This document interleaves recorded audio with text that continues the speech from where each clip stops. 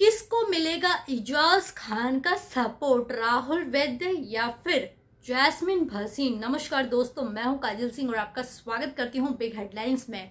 दोस्तों, आज रात हम देखने वाले हैं कि इजाज खान को जो स्पेशल पावर मिली है, इसके ज़रिए इजाज खान जो है कंटेस्टेंट्स के तबादले करने वाले हैं। यानी कि रेड जोन के कंटेस्टेंट्स को मिलेगा मौका ग्रीन जोन में जाने का और ग्रीन जोन के कंटेस्टेंट्स को मिलने वाला है मौका।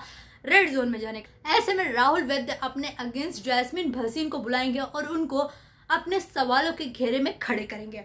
वेल ऐसे में प्रोमो में हम क्या देखते हैं कि इजाज खान जो है, जैस्मिन भसीन की यहाँ पे तारीफ़ करते हैं कि मैं जैस्मिन को अपने लेवल का समझता हूँ। उनको जो है एक अच्छा खासा स्ट्रॉन्ग कंपेटिटर समझता हूँ। वो अच्छी है लड़की है वगैरह वगैरह, बहुत सारी बातें इजाज खान कर रहे हैं। तो क्या ऐसे में इजाज खान जो है जैस्मिन भसीन को ग्रीन जोन में ही रहने देंगे रेड जोन में नहीं डालेंगे? राहुल वैद्य क्या रेड जोन में रहेंगे?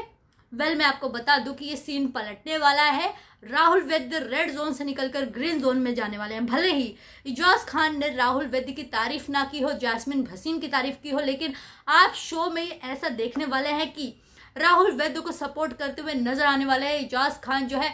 और टॉपिक ये उठाएँगे कि राहुल वैद्य ने तुम्हारा बैग प्यार से मांगा था, ना कि छीना छपटी की थी। तो दोस्तों कमेंट सेक्शन में कमेंट करके बताइए इजाज खान का ये डिसीज़न आपको कितना सही लगा, राहुल वैद्य को सपोर्ट करना। और अगर अभी तक आपने हमारे चैनल को सब्सक्राइब नहीं किया तो जल्दी से कर दीजिए, ताकि जितनी भी लेटेस्ट अपडेट है, मैं आप तक सबसे पहले पहुंचाते रहूँ। और अगर आप ये वीडियो फेसबुक पर देख रहे हैं तो हमारे पेज को लाइक करें। Thank you so much